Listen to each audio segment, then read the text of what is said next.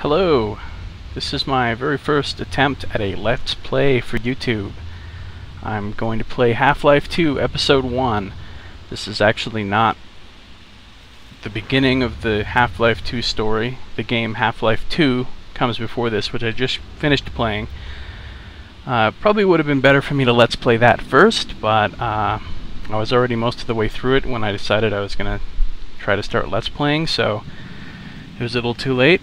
So I went ahead and finished it, and now I'm going to play episode 1, which is kind of like the little expansion. There's episode 1 and episode 2 that came after it. Of course, these are uh, several years old. These are older games, but um, I think the Half-Life and Half-Life 2 are considered some of the very best first-person shooters of all time. Some of the best PC games of all time, and uh, I agree. I really loved. I played Half-Life 1. I didn't play it until last year even though it was many years old. And I finally played it last year, and I really liked it, even though the graphics were extremely dated. Um, I found it very immersive, and just thought it was awesome. And then I played Half-Life 2 just now, uh, just in the last couple weeks, and was really impressed with it. Um, the storytelling, the immersion, um, even for an older game with slightly dated graphics now, it uh, has definitely held up and it's a great game that everyone should play. Um, my name's Josiah and I hope to do many more Let's Plays after this. I've been watching some for a while now on YouTube and I really enjoy them so I'm going to try doing some of my own now.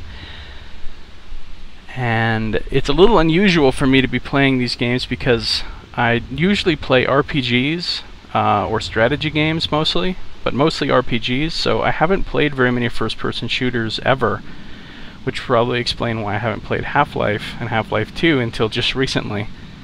Um, so this is only about the third or fourth first-person shooter I've ever even played, so I'm not very good at them.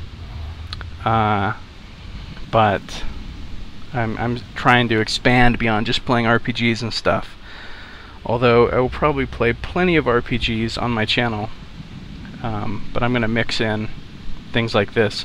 So I plan to play this, Episode 1, and then Half-Life 2, Episode 2 immediately thereafter, and probably then Portal, which again is another game that I haven't played, but of course everybody's played Portal and thinks it's great, and I haven't played it. So I'm probably going to play that immediately after these two shorter Half-Life 2 kind of expansion games and then who knows after that. So, without further ado, let's uh, let's jump into this brand new game. I'm playing this blind, of course. New game. Let's see. I'm excited. First time. Let's playing. See how it goes. I'm using Fraps to record this. Hopefully the sound volume, the volume and, and my voice and everything is fine. We'll see. If not, I'll adjust things. Hmm.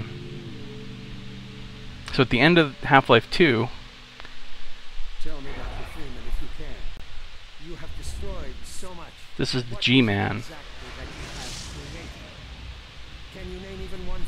Oh, that's Dr. Breen. He said these lines at, in Half-Life 2 at, toward the end right before I stopped him from teleporting out of the top of the Citadel, which is this huge building.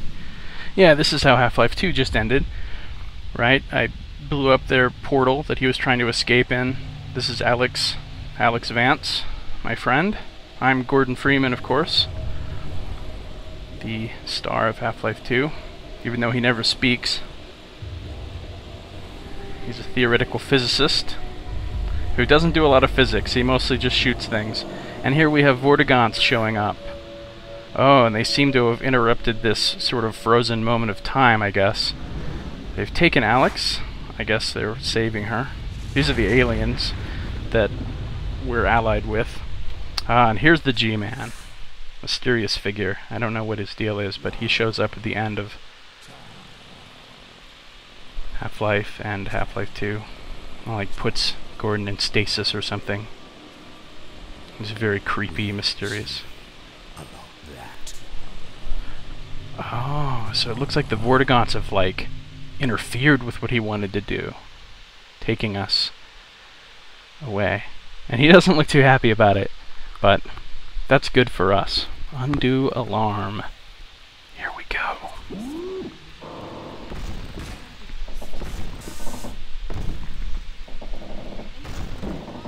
Oh, dog, the friendly robot that Alyx made. Looks like he's rescuing us. Yay! Hi, dog. Oh, wow, look at that sky. Don't drop what you're doing. Gordon. Oh, Alyx is happy to see us. So.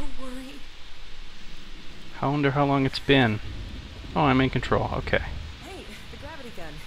Give it to him, dog. Yay! I love the gravity gun. It's a lot of fun. Thank you, dog. There, Gordon. Dog Is that all I have? I Yeah. tell. okay, dog. Go get the monitor set up so we can check in with my dad. He must have worried sick about us. He was so sure I wouldn't find you here. The Citadel's really coming apart. Okay, so it looks like there's know how we got out of there.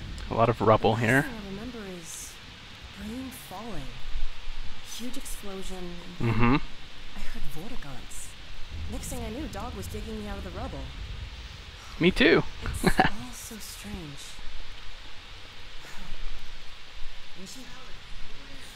Hey, there's Eli Vance,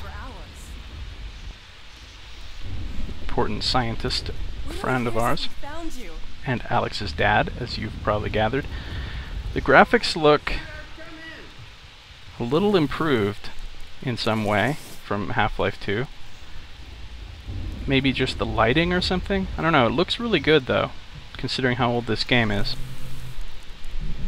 Okay, so the gravity gun, I can pick things up and throw them around. See, I picked up that little piece of wood. Everyone has probably played Half-Life 2 and or this, or is familiar with it, so I'll be like explaining things about the gameplay as I go that probably don't need explaining to almost anyone, but so uh, I'm stuck down here. Not quite sure what I'm expected to do. Oh, there you go. Lots of fun little physics puzzles, and they're not really very puzzling. Just sort of fun physics things you do to proceed through Half-Life 2. Things like that. You get a lot of manipulation of the environment. Health packs, thank you.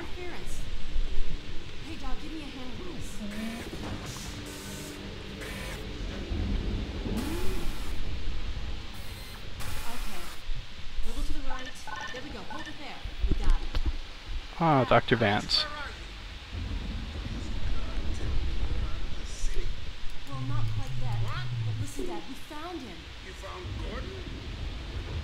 Wonder how long it's been.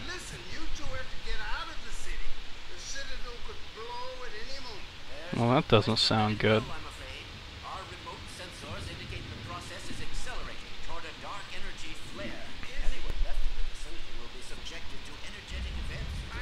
Energetic events. Oh no. Okay, well, I personally don't like my cellular material being ravaged, so I vote for us getting out of here. Undue alarm. actually, we're right by harm's way. I just looked at a map of harm's way, and there's a big thing saying you are here, pointing right to the middle of harm's way. You do Science Speak.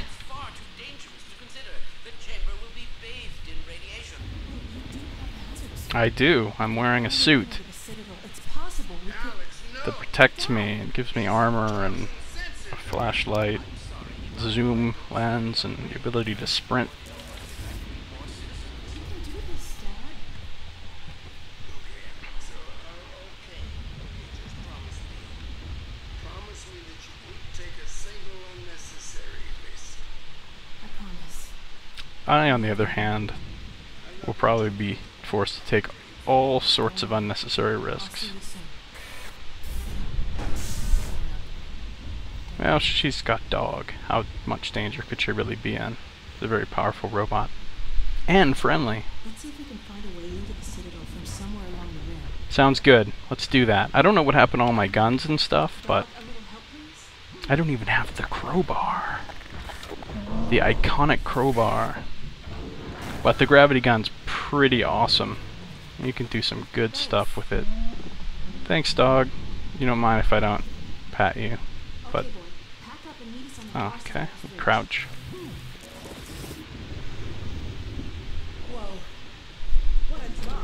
That doesn't look good.